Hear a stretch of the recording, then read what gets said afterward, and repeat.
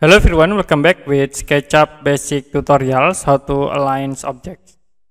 Okay, in here I will uh, create a simple object. For example, I will use a rectangle command and use uh, pull tools to convert into 3D.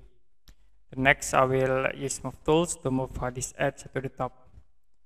You also can change uh, these objects into group. You can uh, triple click, right click and make group.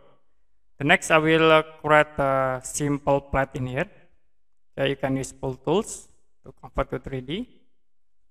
And then if you want to align uh, these objects into these uh, objects, first we need to change uh, these objects into component. You can triple click and you can right click the next make component. In here for glue, you can change into any and you can click create.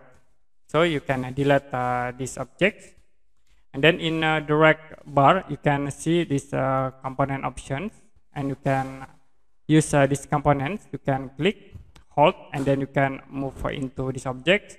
It will be automatically aligned. Okay, you can like, I will click at this point. Okay, we move again into this point, or you can move into here.